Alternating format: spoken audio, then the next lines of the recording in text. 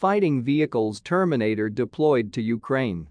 A platoon of combat vehicles Terminator was transferred to the zone of the NWO. Data on this matter appeared a few days ago when these combat vehicles were seen in the area of a special military operation. And this afternoon, the Russian news agency RIA Novosti, citing its own sources, confirmed the fact of sending a platoon of this type of weapon. On the presented video footage published by local residents, you can see how a column of military equipment is moving through the territory of the settlement, which includes at least three T-15 Terminator combat vehicles.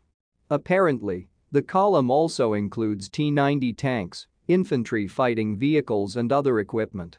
However, the specific area where the corresponding video was filmed is not named. According to a RIA Novosti source, a platoon of T-15 Terminator combat vehicles was sent to the zone of the special operation.